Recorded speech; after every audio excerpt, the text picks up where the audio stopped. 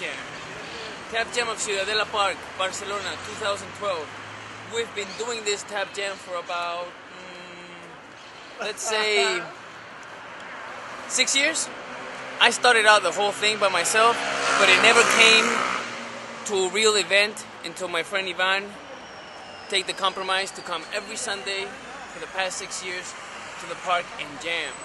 Since then, we've had a whole bunch of stories, a whole bunch of dancers, tap dancers, hip hop dancers, contemporary dancers, musicians, um, Lindy Hop dancers. There's a huge culture over here, and we're gonna take you to this one place where you can express everything you want with your feet or with anything you want to share with us. Because this is the Ciudadela Tap Jam Park.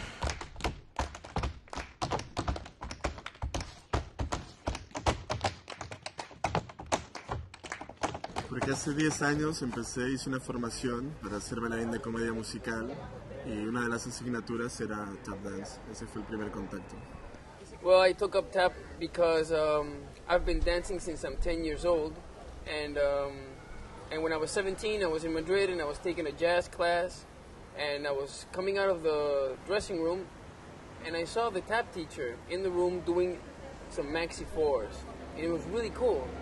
And in my in my childhood, I always remember of always wanting to dance, but also always hitting the table and doing rhythms and stuff like that.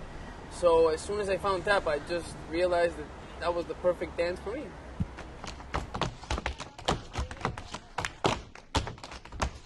Eh, sacrificar en realidad, bueno, algunas cosas, básicamente conseguir dinero para poder tomar clases, para tener sitios donde entrenar. Muchas veces he tenido que entrenar en sitios públicos como este sitio maravilloso, las noches, porque no tenía sala para entrenar. Eh, estar lejos de mi familia también es, es importante. Eh, hace 10 años que vivo en Barcelona, yo soy de la Ciudad de México y no voy muy seguido, entonces ese podría ser un sacrificio muy grande porque ellos nunca me han visto en realidad como he ido evolucionando en el TAP. No lo he podido compartir al 100% con ellos. Eh, eso sí es un sacrificio, entonces siempre que bailo intento pensar en mejorar y hacerlo mejor cada día para ver que vale la pena haber estado tan lejos de seres tan queridos. Sacrifices. Well, I wasn't really aware of the sacrifices I was doing because, like my other friend said, Ivan, it's just a huge passion. So it took all my time. It took all of. Um, it took over everything in life. I mean, my friendships were always based in, in, in tap dance and with tap dancers and people that would see me tap. Um, you know, I guess I realized that I wasn't really, and I've never been kind of a normal guy. Um, I didn't like to go out at night. Um, I just rather, you know, wake up and go straight to get on my shoes on and get into a place to dance. So basically, there wasn't any real sacrifice. I mean, I still had friends, although they all thought I was a bit crazy because I occupied most of my time in, in tap dance. Um, so there isn't a sacrifice when you're such in love with, with such of a beautiful art form like tap dance. Bueno, he tenido muchas influencias, empezando por mi padre. Mi padre me influenciado mucho. Eh, en México hay un cantante que se llama Saúl Hernández que me acompañó durante toda mi adolescencia y aprendí mucho de él porque tiene una poesía muy grande cuando, cuando escribe. Y bailarines de todo tipo, bailarines de jazz, de jazz y de, de claqué, pues el, la, el, que más me ha inspirado es Jason Summers.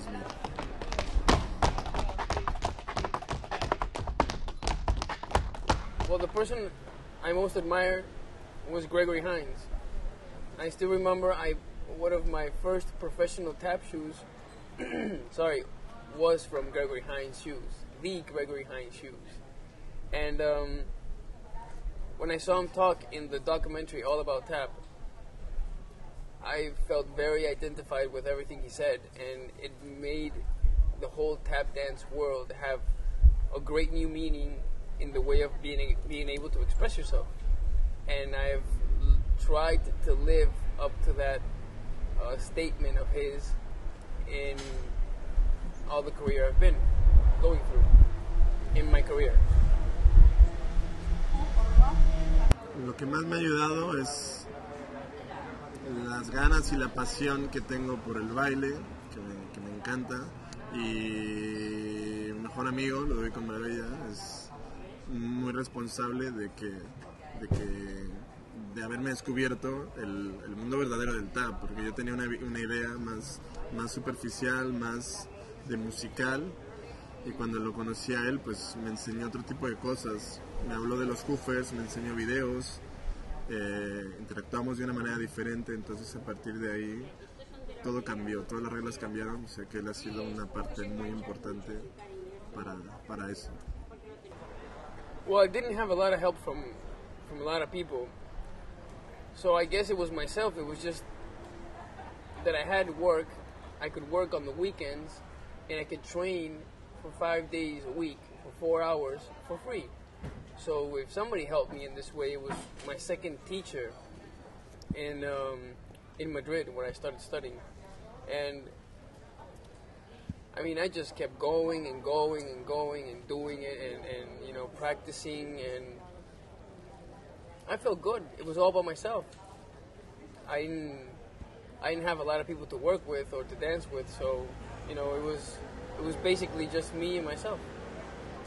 Obstáculos. El primero, tener dinero para poder tomar clases, que es que hay que hacer una inversión importante, entonces hay que trabajar para poder tomar las mejores clases que tienes.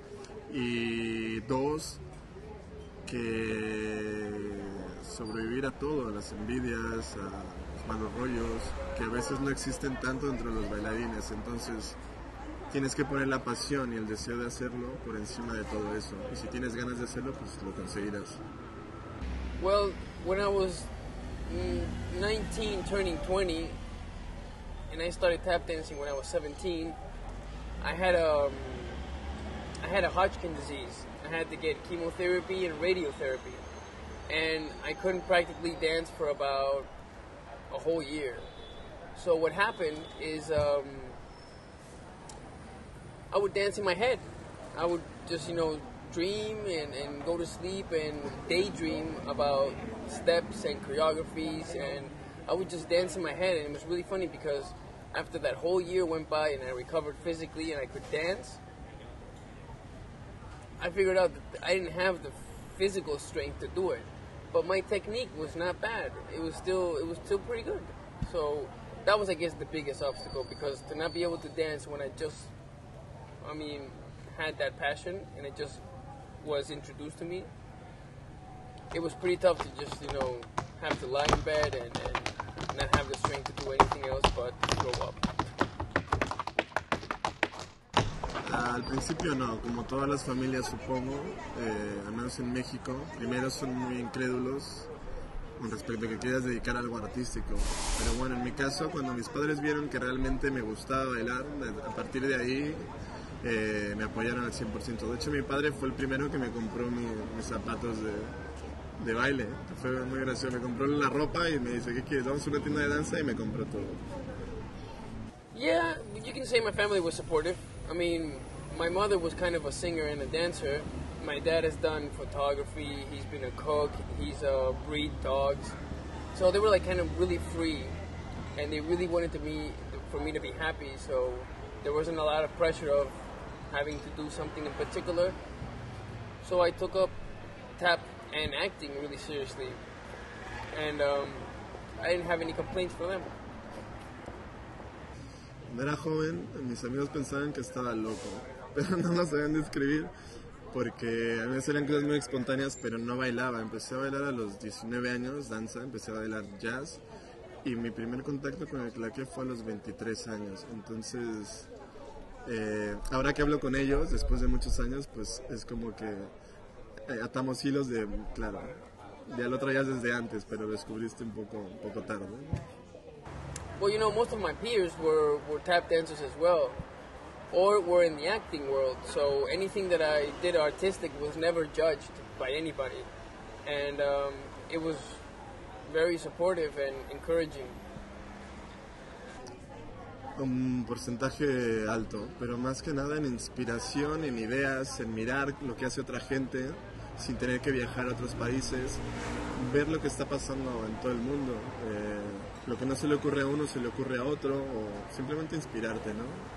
Ver otras épocas, sobre todo a los Hoofers, que no viven ahora muchos, no, no tengo la suerte de estar en su época, pues mediante el YouTube he podido remontarme a oír y ver cómo bailaban, la música que había, cómo vestían, cómo pensaban.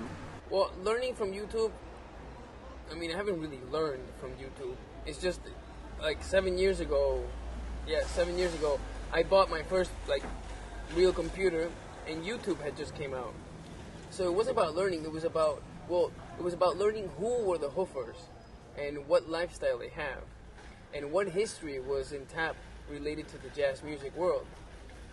So, um, you know, hearing Jimmy Slyde talk, or hearing Bunny Briggs, or hearing Chuck Green, or seeing John Bubbles, or Honi Coles and Atkins, and all these wonderful dancers with so many different styles, it just made me realize once again how tap is such of a free art of expression of everybody, I mean, of your own person.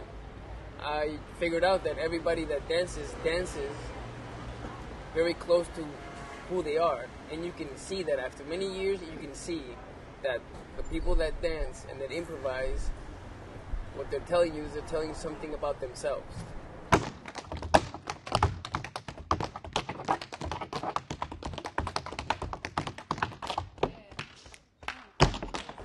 Creo que, que es importante que el tap se adapte siempre a la época en la que está, en la que está viviendo, en la que está pasando. Lo ha sabido hacer porque por eso lleva tantos años existiendo, seguirá existiendo porque es una tradición muy bonita, además es una tradición que pasa de generación a generación, de persona a persona, pero es importante que se adapte a, la época en la que está. The future of tap is saved.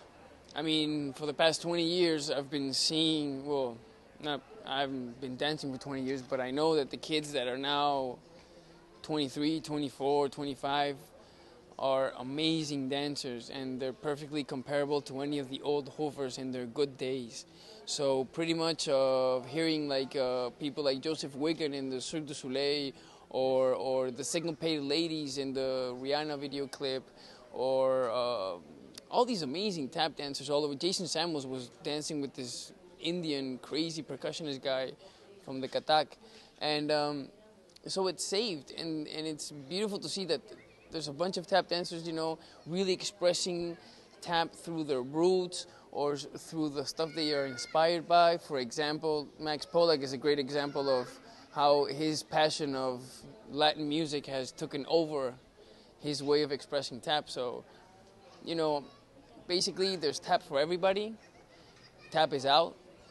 It's it's starting to be a headliner, and um, I think for the next 20 years we're going to be seeing some really crazy stuff, some really stylish and high quality tap dance. So I think it's saved.